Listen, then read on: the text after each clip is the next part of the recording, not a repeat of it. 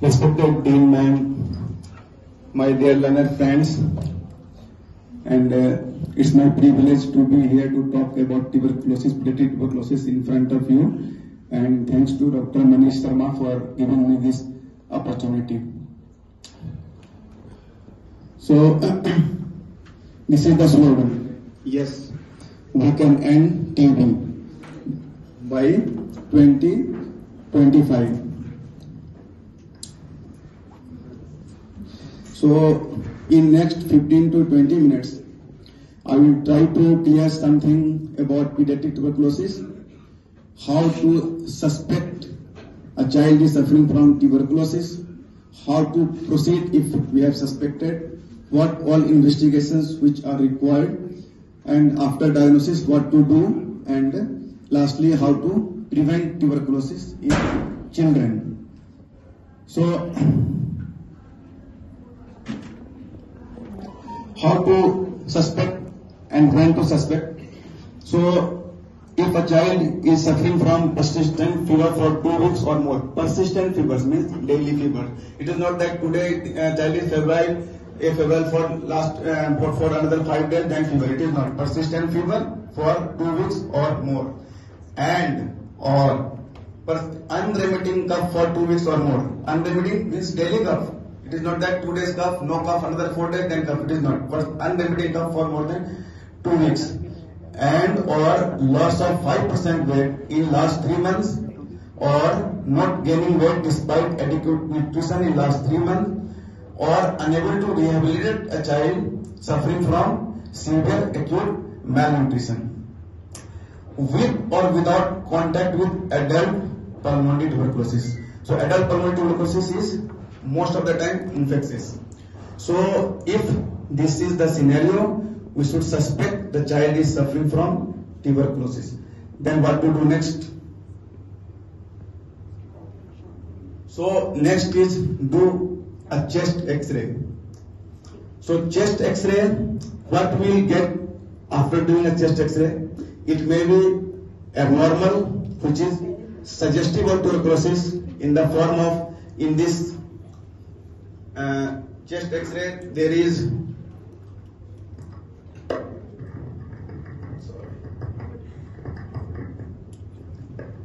so in this chest x-ray there is collapse consultation if there is collapse consolidation, if there is cavitatory lesion, if there is mediastinal lymphadenopathy, these are suggestive of tuberculosis.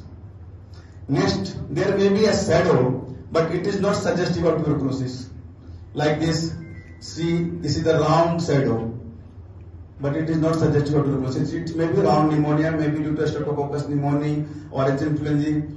There may be pleural effusion and chest X-ray may be entirely normal. So these four scenarios will get after doing chest X-ray. Now, if the chest X-ray is suggestive of tuberculosis, then what to do? Then examine sputum, gastric aspirate, induced sputum. It is very difficult to collect sputum in case of children. And uh, I will describe how to collect a good sample in children. So see, we should examine these if it is available and send it for CVNAT. Carton test, nucleic acid amplification test. This is NAT, CVNAT. So if CTNAT, if it is positive, then it is microbiologically confirmed tuberculosis.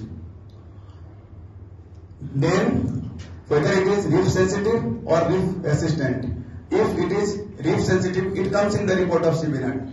It is microbacterium detected, it is reef sensitive, detected, if it is uh, sensitive or resistant, it comes in the report. So if sensitive, start first line anti-tuberculosis drug 2 HRJD 4 HR and if it is CNS or osteoarticular 2 HRJD 10 HRE. But if it is reef resistant then follow DRTV second line. I will describe in short what is this DRTV what are these drugs. If CV is negative then repeat CV with good sample lymph node spread if it is feasible if there is significantly enlarged cervical lymph node you can take a spread and send it for bronchoalveolar lavage if bronchoscopy facility is available at your center uh, and if positive then treat as confirmed microbial tuberculosis if negative repeat sample uh, if not possible then alternate diagnosis if everything is negative everything is negative and clinically there is a strong suspicion of tuberculosis, then we can treat as uh, clinically diagnosed probable case of tuberculosis. So even in the absence of all the uh, negative reports, if we have excluded clinically other diagnosis, we can treat it as a clinically diagnosed probable case of tuberculosis. So, but these, these are the guidelines if chest X-ray was suggested. But chest X-ray is non-specific, then what to do next? If it is non-specific, like it is not suggestive of tuberculosis, then give a course of antibiotics 7 to 10 days and avoid giving quinolones and linazolid because these have anti-tubercular properties. So avoid giving these drugs and preferably give amoxicillin or amoxiclav. If shadow persists, on repeat chest X-ray after giving this course of antibiotics and symptom persists, then send sample for Civinat again. If Civinat is negative, repeat sample and alternate sample not possible, then treat as clinically diagnosed probable case of tuberculosis in such scenario. And if the chest X-ray shows low diffusion, then do blood tapping and uh, send the sample for cytology, biochemistry, CVNet. CVNet for GS should also be done. If you can collect a sputum, then uh, CVNet should be uh, done for a sputum. and uh, if it is positive, blood flow is positive, then microbiologically confirm tuberculosis. If CVNet is negative and the color of blood fluid is straw and if it is acute type of blood effusion, then it is tuberculosis and treat it. If no alternative diagnosis is possible, then treat as clinically diagnosed problem case of tuberculosis in this scenario also. Now, what to do if chest X-ray is completely normal? Extensive workup for tuberculosis should be done. Look for alternative diagnosis look for extra permanent tuberculosis, do CCT chest. Sometimes we have seen chest x-ray is completely normal. We are suspecting tuberculosis. And if we do CCT chest, there is extensive finding in the form of medicinal lymphadenopathy, which are necrotic. Sometimes uh, cavity lesion also, which were not detected on chest uh, x-ray. So sensitivity of chest x-ray is only 50%. In that scenario, we can do CT scan and if facility is available, do bronchoscopy and bronchial large fluid examination. And uh, if these facilities are not available, may consider referral to higher center for further investigations and diagnosis. So basis of diagnosis or prognosis may be clinical based on history and examination, radiological based on chest x-ray, CCT chest, and microbiological based on smear examination, CBI and culture of the sample. So collection of sample it is very difficult in children. In adult it is easy. So this is very important to know how to collect. So it can be collections of the sample it can be done in indoor as well as on ambulatory patients. For indoor patient, sample should be collected in early morning after overnight fast. This is for sputum collection. Child should be fasting for at least 4 hours and if it is infant, for at least 3 hours in cases of ambulatory patients. Child with bleeding tendency or low platelet count should not go through it. And uh, if you are collecting gastric aspirate, take ng tube. preferably of 10 French size. Distance should be measured from nose to stomach. Pass the tube through nose and attach a string gently proceed toward stomach. Confirm the tube position by auscultatory method. Like push 3 to 5 ml of air and ask the assistant to auscultate over the epigastrium and confirm it is position. So the aspirate is gastric or not, it can be tested by Ekman if it is available. So blue litmus turns red with gastric acid. Aspirate 2 to 5 ml gastric content. Set the child gently before aspiration for better. If you set the child gently, it will be better. If no aspirate is coming, instill still 5 to 10 ml of distilled water or normal saline, then take aspirate. At adequate sample is 5 to 10 ml. Transfer it from syringe to a sterile hospital collection cup mix it with equal amount of 8% sodium bicarbonate which is easily available everywhere in the world if it is not tested soon because why to do it because gastric acid can destruct mycobacterium so it will not be detected so it should be examined within 4 hours after being transported in cool box if not possible to examine within 4 hours if it is delayed then keep at 4 to 8 degrees celsius in refrigerator before transportation. Sputum. Explain the child and parents why sputum collection is required so that they can cooperate. Two samples, one at a spot and one early morning are to be collected for smear examination. Ask the child to rinse the mouth with clean water to clear food particles and any contaminants. Ask the child take two deep breaths slowly and hold for 2 seconds. So after child to it, two deep breaths slowly and hold for few seconds. Then ask for a third breath. Take slowly, then blow out. Then take another breath, then start coughing. So if you um, teach the child, train the child, child can perform, especially adolescent. Ask to put the container to touch lip and gently spit it. In this way, sputum will come from deep into the lungs. Otherwise, it will not come from deep into the lungs and test will be negative. So this is the adequate sample. How to take induced sputum? So always sputum taking is not possible, so we have to induce sputum and collect in cases of children.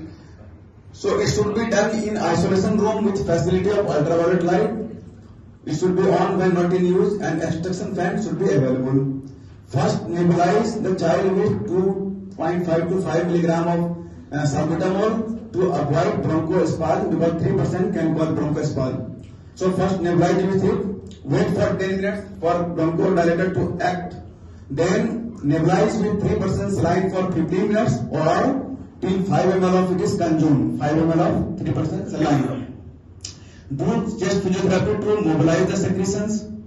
Ask the child to cough by previous technique which I have explained. Take two deep breath, hold the breath, then uh, blow out, then start coughing and take the sample.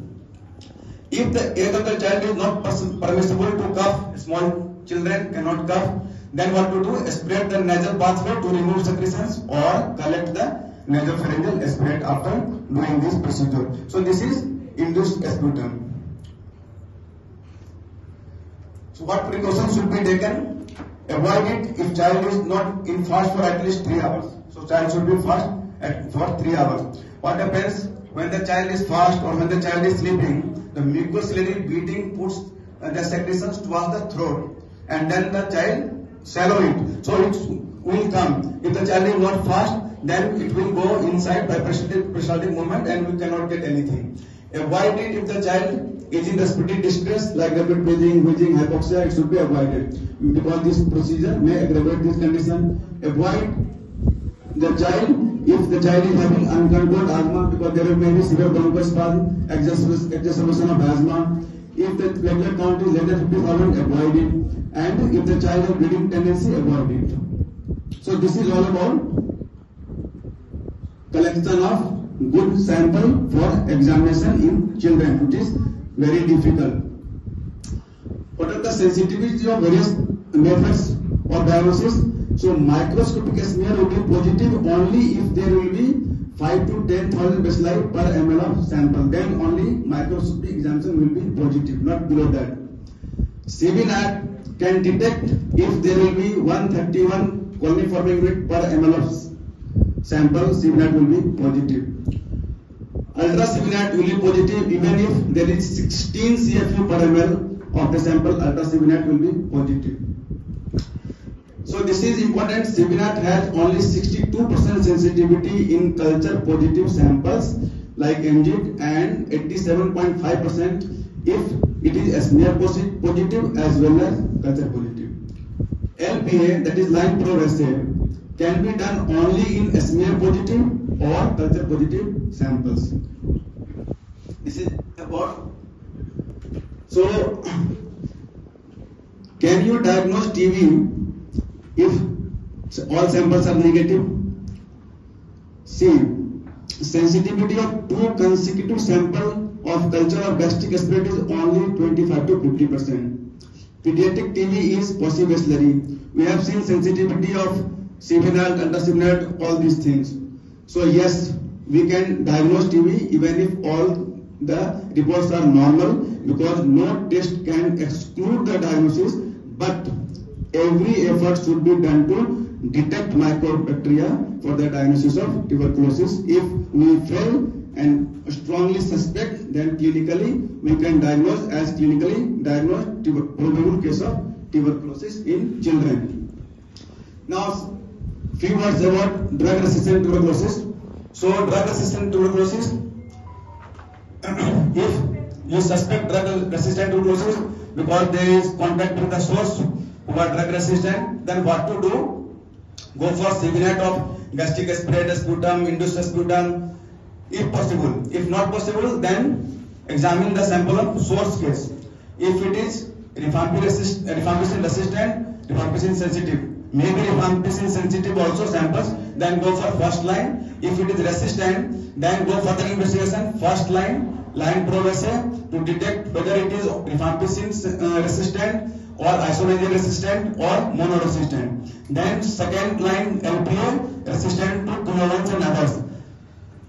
so this is for DRTV. Now how to treat in short, how to treat DRTV.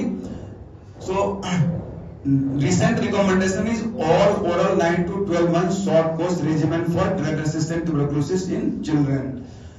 So 4 to 6 months intensive phase with 7 drugs vidaculin, moxil, organofuncin, clofazepine, ethanamide, bethambutal, hydroxyazole, and the continuation phase 5 to 6 months drop 2 drugs isoniazide and ethanamide and continue 5 from the same. So this is all about the short course or oral drug treatment for drug resistant tuberculosis in children. So, if the 12 months lanotolid can replace 4 to 6 months of ethianamide in intensive phase in certain children. Duration of intensive phase depends on smear conversion after 4 months of the treatment. After 4 months of treatment, do the smear examination and decide whether to continue uh, further intensive phase or not. This regimen is not suitable for severe pulmonary disease, extra pulmonary tuberculosis, and if the, there is a resistance to fluorochlorine lungs, then this regimen short course 9 to 12 month or oral is not suitable. And for this treatment to start, there should be rapid access to first and second line drug sensitivity test. In March 2020, uh, 2022, WHO has recommended bidacholine and delaminate for all pediatric age group. It can be given to all pediatric age group. These two times previously it was not recommended. So now it is easy to start or oral regimens.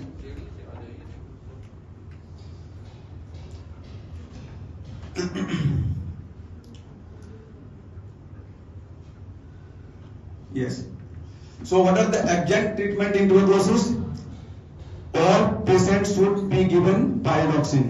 Previously there was uh, use of low dose isoniazide so there was less chance of toxicity. Now high dose are being used so there are more chance of toxicity of isoniazide so all TB patients should receive pyridoxine throughout the course of ATT and in certain conditions steroids are indicated.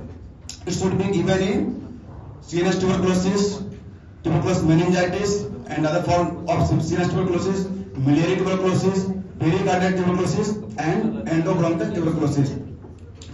In certain situations, we can give in uh, we can give in uh, pleural effusion also.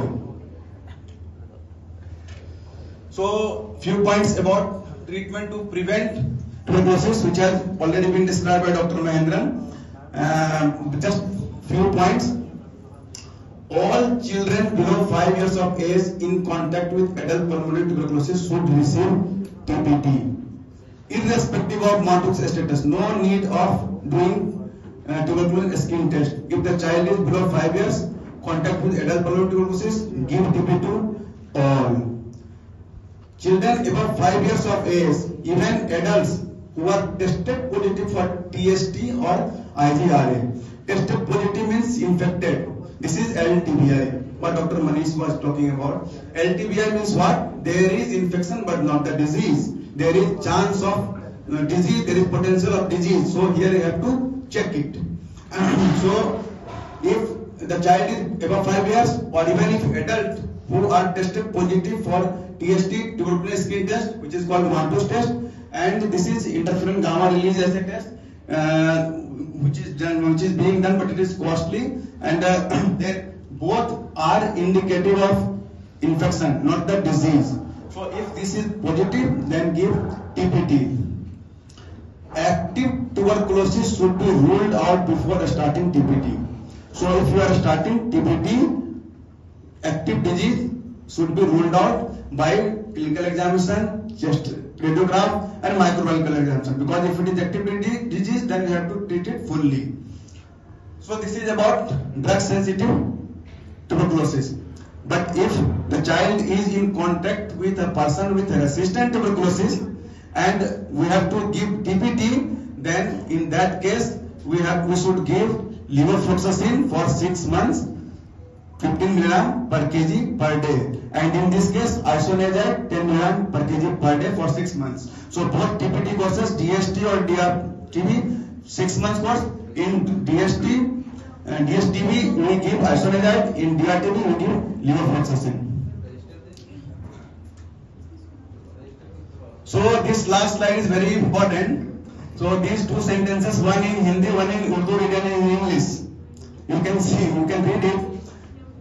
ज्ञान इतना ही नहीं जो किताब में है जो किताब है हर जगह अपनी जगह आफ्ताब है so knowledge is not limited which is in book only it is growing evolving daily on and on today knowledge will be obsolete tomorrow so go on increasing expanding your knowledge by various sources thank you very much